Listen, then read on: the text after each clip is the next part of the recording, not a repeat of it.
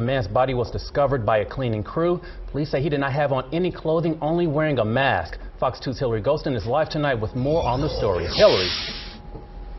And good evening to you, Josh and Amy. What we're learning tonight, and something anyone can find out with a quick Google search, is that this is a spot that's open 24 hours a day.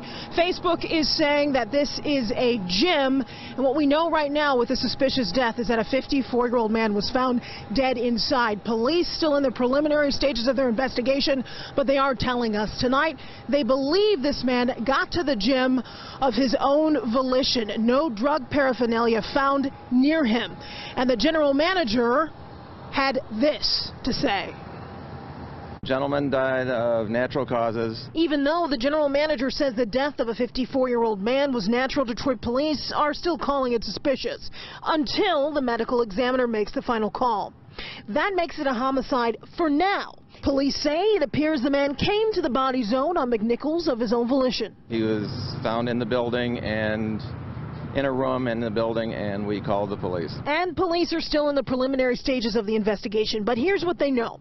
They didn't have any missing persons reports, no signs of trauma on the man or narcotics paraphernalia. They too aren't ruling out this could be medical.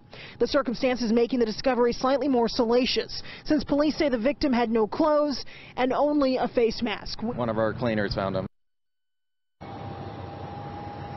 Now, we did head to this gentleman's neighborhood and had a chance to speak with neighbors. They say that he was a quiet man, walked his dog up and down uh, the street there in front of his home. Now, the reason we're not releasing his name tonight is because the medical examiner has not yet made a positive identification, and we certainly want to wait for that so that family has a chance to be notified. Now, I did also ask police if they could look into the past three months to see if there were any calls of, for suspicious activity or any criminal activity, and they say they had none of that.